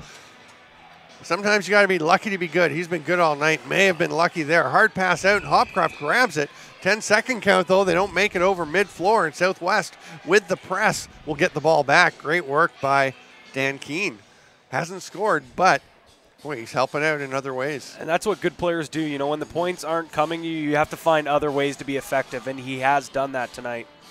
Pike is looking for Keene. Instead, he's going to the net. He's D'd up. Gets the shot off, comes off the boards, back out to Keene. Seven to shoot. They try to get it to Keene. Instead, the shot by Ward. That goes wide. It's knocked down. Three on the shot clock. The outside shot by Pike misses. It's going to be Durham possession. It'll roll all the way down to the far restraining line. And John St. John was hoping he might get a quick reset and go, but it actually didn't pick up right away. Now he's behind the back, goes off of a Cyclops, and that may not be a shot the coaches want him taking. Wasson grabs the ball, passes it Absolutely over to. Hopcroft. Early in the shot clock, and really not much of a lane to fire. No. There's a Oh. hard one from Bergen. That'll be a reset as it goes off. Grant Crawley. They ask him if he's okay. He's like, I'm a goalie. I'm fine. Par for the course. yeah. He's like, Coote took two off the face. Go ask him if he's okay. There's a pass through to McMahon, just knocked away by Pike. Crawley's going to get it as it went through the crease. Cody, Cody McMahon did that. Is 8 6 still the score. Here come the Cyclops again, putting some pressure on, both in terms of physical pressure, pressing the Turf Dogs, and also some mental pressure as they get another one. That's a bounce shot. I believe that's Reed Board ripping that one. Yeah, it was. Yeah. A nice outside shot from Reed Board, getting two pretty nice goals so far. Yeah. And, uh, you know, this being the most timely as it brings the Southwest Cyclops in from now down one goal and lots of time left on this clock. See this there. Nice spin move and just rips and grips it. And a nice pick there on as well. Look up the scoreboard now. They're only down one, and you say that game is over at the ILA. So now they are absolutely 100% playing for their postseason lives. Pass across to the cutter, gets by the Bolts, but goes right into McCrory. He's going to pass it over to the other McCrory. That was R- Patrick to Rory. Ryan? Rory McCrory. That would be quite That a would name. be a great handle. That would be. That ball's going to bounce off the back. Is it over and back? It is. And McCrory kind of flicks it at Graham Bergsma. Bergsma was looking for the uh, delay of game penalty there. Ah, he may have had a point. There's a save by Coote, who's they're shooting everything low. He is going down. I think they're actually trying to bounce them up over his shoulders as he drops down. Here's Farthing breaking down. Twister pass attempt gets away from him. Right idea, though. Yeah, maybe a little overzealous on the, the twisting. Now Farthing's going to go to be an outlet. Pass by McNulty, head to Hopcroft. Just 15 on the shot clock. The Turf Dogs just getting their last offensive guy out now. Hopcroft with five to shoot, whips one wide. It's going to go out to Sullivan. He'll just flick it into the corner. And it's still a one goal game. The Turf Dogs leading, but this is where they need to really buckle down and, and get the momentum swung back around. Keene over to Dance. Dance with the hat trick. Leading the turf, the Cyclops. Pike shoots. That one goes wide. And Hopcroft is looking a little ginger as he goes forward. And there's the pass. Oh, and Vredenberg can't pick it up, or he was all alone on Grant Crawley. Now he's one on two. Still tries to get to the net, but nice job by Keene to just get a stick on stick. Bergen, hard pass across. McNulty's going to let it fly. Saved by Crawley, but it comes straight back out to Bergen, a fresh 30. Bergen tries the swim move on Goss. He doesn't go for it, just takes the body. There's a textbook example of how to play against the swim move. Looks like Bergen's now really starting to get into the groove of things. You did say it looked like he was just trying Mm. to, you know, catch his groove, and that's. It looks like he's very comfortable now. Oh, St. John misses the net. He had a lane there. Wasson battling hard for the loose ball. Can't get it. It's picked up by Hesseltine. Two on one. He's on his offside. He's going to go to Corbett. No, he's going to shoot. And Coote somehow got part of that. There's Wasson. He is working his butt off on this shift, but it's going to come back out. There's the hard shot by Corbett off the backboards, tipped and controlled by Zabolts. That's a great play to control the ball under pressure, get it over to John St. John, who's trying to break by the defender. Puts the that is a face dodge if I've ever seen him on the stick right up to his mask. Cutting Zabolts takes it. Moving pick called. No goals. It was shot after the whistle, clearly after. Nice shift there for Zabolts. We talk about these Mm. new players kind of trying to find their groove, and it looked like you know he's not able to kind of get offensively uh, in, in uh, into the swing of things, but he's doing the he's doing the little things right now. That's really well. It is 9 to 15 to go here in the fourth quarter. The score 8 to 7, a one goal game. The Durham Turf Dogs ahead, and Lucas Coote, another big save on Jordan Dance, who's got three goals, almost had a fourth. He is flattened as he cuts through the to take that pass. There's the outlet pass. Lucas Coote has five assists. We're going to have an illegal substitution call against Durham, the first we've seen in this game. And what a time for it to come with 9.01 left in the fourth. Definitely Oh, wait a second. Is it? Oh, yeah, it is against Durham. So power play coming for the Cyclops, mm-hmm. Who have really had the best of the play for a while here. Absolutely, and uh, like you said, this this power play couldn't come at a better time for the Cyclops, and you know maybe they can see if they can get Dan Keene going. We talk about how he hasn't really gotten into his offensive groove yet, but uh, you know the power play has been his bread and butter this year. Ball moving around the outside, straight over the top. What a shot there! And we have a tie ball game.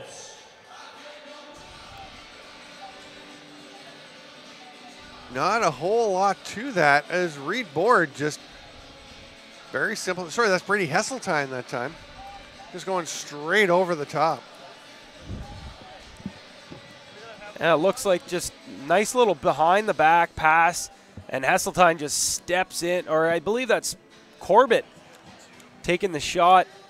And I mean, if you give a guy that much space, I know you're on the penalty kill, but Yeah. you got to get a stick or something out there, put a little bit of pressure. What a run to get the shot off, but Spanger was on Dylan Goddard, limited his opportunities, and we go back the other way. It's all tied up. Durham really needs to answer. It's picked off. Can they do it here? Backtracking just before he got to the bench is Ward. Hopcroft, he's got a man with him, puts the shoulder down, goes to his offside. Goddard picked up nicely by Kranz, who actually grabbed his shirt, but uh, the play was going away from them, so uh, no call. Ball is loose. Gage Board fighting for it. Ward trying to get it. Oh, what a play by Hopcroft to get that one out. Goddard the save by Crawley. Here comes Kranz the other way. That was a great effort by by uh, Derek Hopcroft. The trailer is Keene. He's got it. Back behind the back, Kranz drops it. That was a nice pass, a good decision, a good decision generally, but boy, Dan Keene may want to shoot that one if he has another chance. Oh, absolutely. Vredenberg's going to get the ball. St. John right over near him, so Vredenberg will go on his own. Picked up by Dance. Oh, what a pass! The goal! Brandon Armstrong cutting to the net, the recent addition to the team. What a play by the Turf Dogs to turn things around and get back in the lead. Welcome to the Durham Turf Dogs. Armstrong, what a great time to score your first goal with the club. And a beautiful feed here. The swim move backs off, can't quite beat his man, but he finds the streaking Armstrong with a beautiful goal to beat Crawley. And like I said, what a better time to come up big for your for your new team here to take the 9-8 lead with uh, 7.30 left in the game. Yeah, exactly. Halfway through the fourth quarter. I'm Stephen Stamp with Pat Gregoire. We will take the officials' break on the next stoppage. That shot by Spanger comes all the way out high. The pass down by Bergsma, but it is picked off. Dylan Goddard has it. They've got some time to get it across center. Nice lead pass. McMahon gets it just before Daly gets there. He's running down along the boards. Hopcroft is on the far side. telling him to slow. Oh, that's a wayward pass well over the head of all the Turf Dogs defenders. We're going to take the officials' timeout. 7.01 to go. It's 9 8 Turf Dogs. I'm Stephen Stamp with Pat Gregoire. We'll be back with the rest of the fourth quarter after this.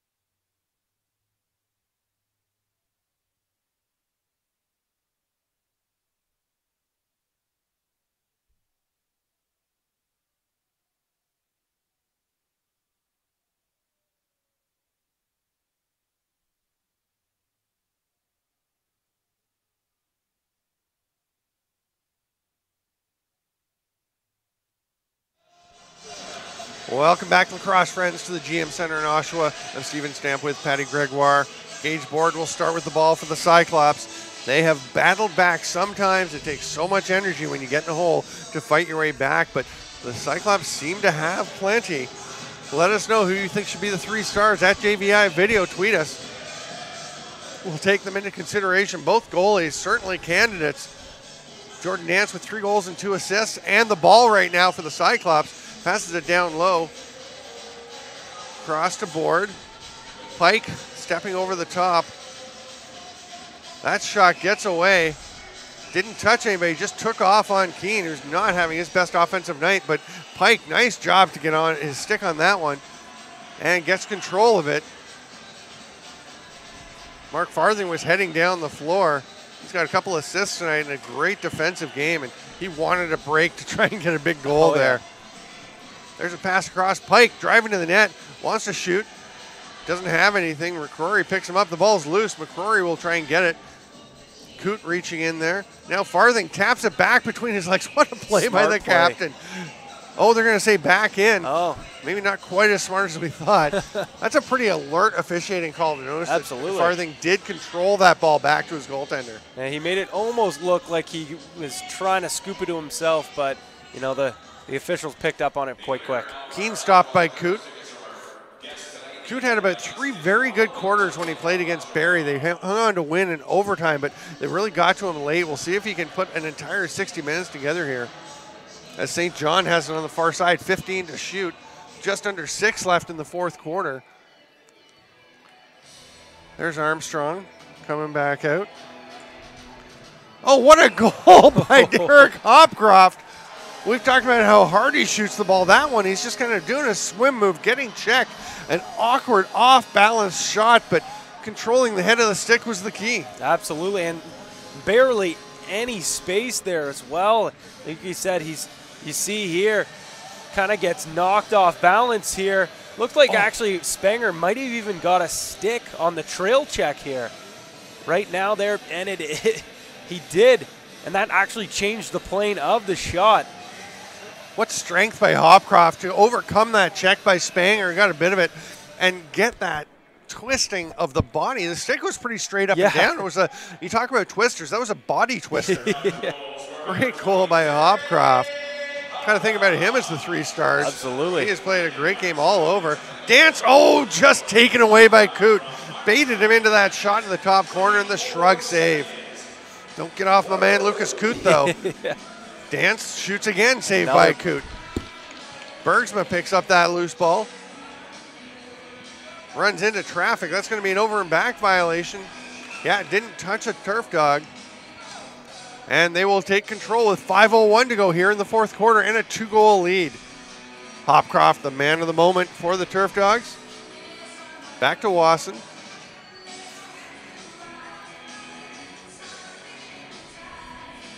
St. John backing away, comes out to the middle. What a pass! Oh, Dylan Goddard or Vredenberg tried to tuck one far corner, saved by Grant Crawley.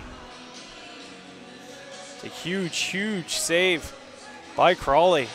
Kind of, you know, got away from how well he was playing, but you know, a huge timely save there. Oh, Spencer Pike with the shot. I think that might be, is that his second or third tonight? That's a hard shot by Spencer Pike. That's his first.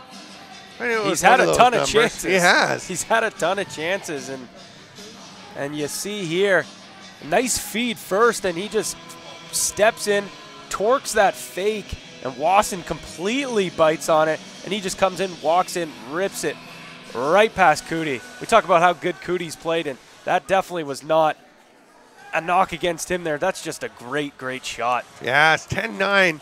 One, uh, 4, 418 to go, one goal game. And the Cyclops once again get the ball. Boy, Graham Bergsman has been big getting those possessions for them. Dance with the ball. He's going to feed it in the middle. Nice D by Farthing once again. And he's tied up with Liam Patton, who gives him a shove into the crease and loses his helmet in the process. He'll have to head off.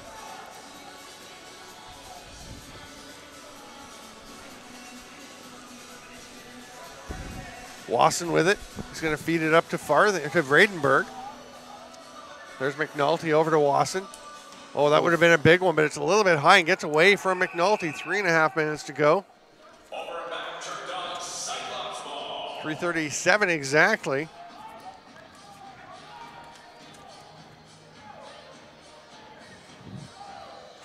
It's going to start in the corner with Gage Board in possession. 10 9 the score, three and a half minutes to go here. I'm Stephen Stamp with Pat Gregoire. This is an exciting CLAX game. Board with the shot saved by Coote. That's going to go up and somehow get through the mesh behind the net. Did it go right over the top of it? It did, yeah. All right. Board just getting all. Mm. That's a pass he's going to want back. And as I was just about to give him praise, Yeah. he's been all over the floor, but not on the score sheet. And that was a perfect chance for him to, you know, make his mark in this game on the score sheet. The Cyclops all over the Turf Dogs. It goes back over, and they are going to say an over and back call.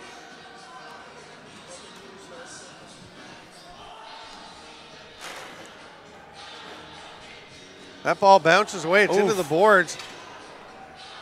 Armstrong runs over his man, but Dance comes out with it. The pass, the shot by Gage Board to his snake bit. Can't Oh, buy one. He Cannot does so much for this team, but unfortunately for him, finishing is not on the agenda this evening. St. John trotting down along the boards. Ward comes to him. He cuts to the middle, passes across to the cutter, but can't get to Zabolts as it's picked off by Daly. St. John goes after McMahon. Will take Kranz. Kranz spins. McMahon all over him. Kind of tugged on the arm, but no call at this point. 2.25 to go here in the fourth quarter. Keene, I thought he was going to just stop it, but he throws it over to Pike. Oh, and Pike steps in the crease, and boy, he was being watched by Josh Wasson, who looked up the floor, and Pike just took off, and boy, Wasson had to recover Oh, quickly. yeah. Long pass connects with Bergen. Nice play by the alternate captain Wasson. That's the lob out to McNulty. They're slowing things down here. McCrory takes it. Just under two minutes to play. They've got 12 on the shot clock. McNulty's going to shoot. Saved by Crawley. Scooped up by Bergsma. Boy, Graham Bergsman is getting back to the game. He plays so well, eh? Oh, absolutely. He's been all over the floor and just, you know, you talk about how dominant he's been on the X at the face-off circle. He's, you know, he's so valuable when you have a guy that dominant at the face-off position. Dance with the ball, battling with Mark Farthing. There's a drive to the net by Reed Board. He's looking for his third, but stopped by by Coote. 122 to play. Couple more possessions for the Turf Dogs, and they can wrap it up. They want to close things out. Wasson going to the net. Tries to drive low. Nice job there. Keeping out by Bryden Curran. Vredenberg hands it off. Wasson will take it. And Nevin Sullivan sprinting to the bench to get some fresh legs. Farthing's just going to go into his own zone. That ball pops loose. Vredenberg goes after, but it's Hesseltine with it. 55 seconds left. Ball knocked out of the, the stick knocked out of the hand by Vredenberg. Now he scoops it up. What a great- jumps up. And it's a timeout by Durham. I thought there I wasn't sure what the call was going to be. They Wow. called timeout as soon as they got possession. Vredenberg gets the ball. They get the timeout. 48.3 to go. That's such a great hustle play by Oh. Vredenberg, being able to not just, you know, strip the ball, but completely yard sale, pick up the ball, and get that timeout. That is huge, huge, huge for this Durham Turf Dogs team right now. You know, up one goal with 48 seconds left, so they're going to definitely want to, you know, kill as much of this clock as they can. Yeah, the uh, 30 seconds they can take off would leave if they use it all. 18 seconds left. At which point, if the Cyclops can get the ball, they can take a timeout, pull Grant Crawley, and get the six attackers out. But you've got to get that loose ball off the rebound if there is one. If Crawley can smother it, that'll be the ideal. You know, if the Turf Dogs don't get a good scoring opportunity, they're just going to take a late shot down at the leg pads of Crawley to try and bounce the ball out. Boy, this is where I, I would guess the Gage Board will be on the floor. He isn't right now, which kind of surprises me because he's been a loose ball vacuum. Yeah, absolutely. He has. You know, I, that's definitely. I was definitely thinking he was going to be there, but I mean, you do have guys like Spanger, uh, Jacob Kranz, Kranz, you know, Bryden Kearns had a pretty strong game for them. It's going to be Dylan Joan- Goddard with the ball Smith and Jordy Jones well. Smith on him. there's a very athletic, big uh, defense here. Goddard swim move, drops the ball, picks it up, scores! I started calling it early. I sensed it. Dylan Goddard, what a goal!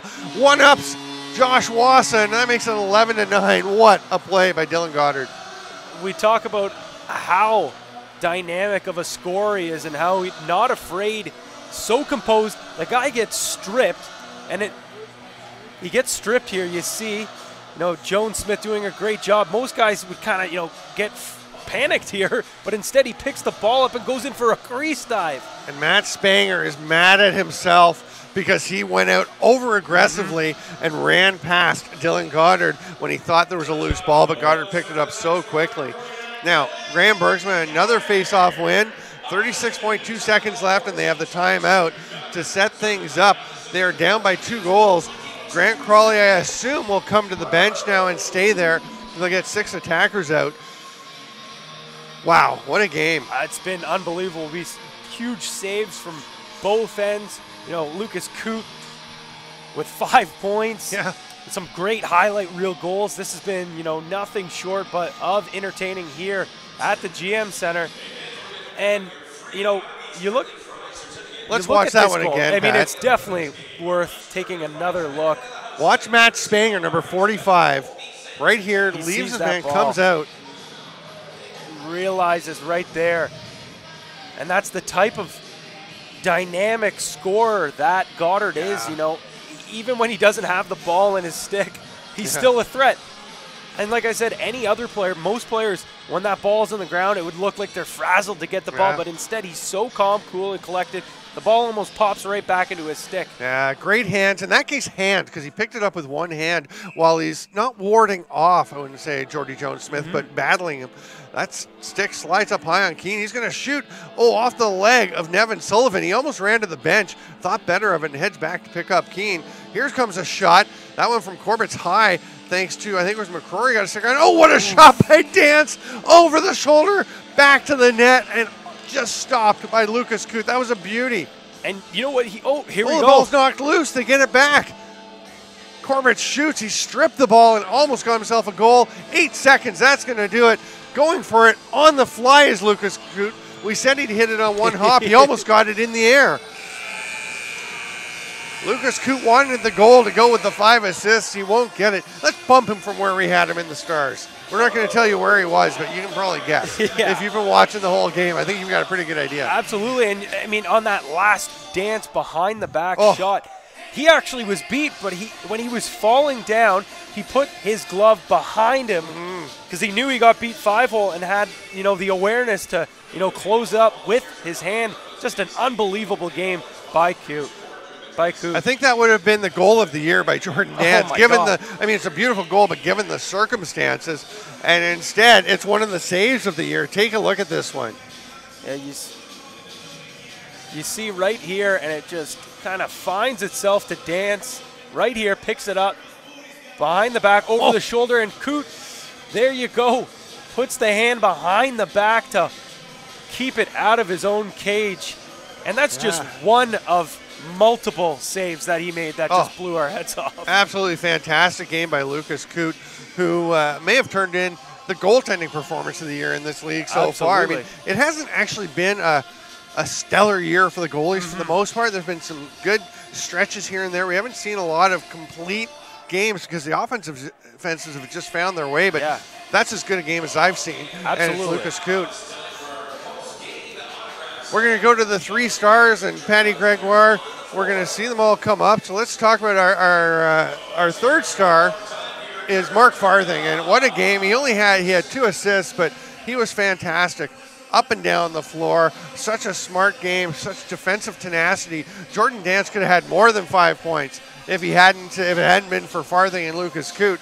Our second star with a five-point night Jordan Dance, uh, he was he was excellent and almost had what would have been a huge sixth one. Yeah, absolutely. And you know that he's had such a big year as well. And you know, unfortunately for Southwest, you know, it's a loss that looks like it's going to end their season. But he has been a huge part of this uh, Cyclops offense. And our first star, no surprise, tied for the league the game lead in scoring with five assists is Lucas Coote, but he was sensational between the pipes. Southwest threw everything they had at him, and he was equal to the task and then some. Yeah, absolutely. There's no doubt. And, you know, like you said, it has kind of been an off year for the goalies this year in CLAX. But boy, did he restore, uh, you know, the faith in the goaltendings tonight. You know, that alone, you could put a highlight reel Yeah. for the entire season just on his saves alone. And like you said, five assists from a goalie is absolutely ridiculous. And they were pretty legit. It wasn't like hand the ball to the guy. No, they were no. mostly on outlet passes. And absolute that's- bombs on a rope. it. Yeah, and here's the here's the thing too. I was actually kind of pulling for him to get that goal at the end because that would have really capped it off. That will do it for us tonight. Thank you so much for being with us. A great game. Remember, there will be more CLAX action on Sunday. I'm Stephen Stamp for Pat Gregoire and the entire JBI Sports Network crew bringing you Canadian Lacrosse League action. Thanks for being with us. We'll see you next time.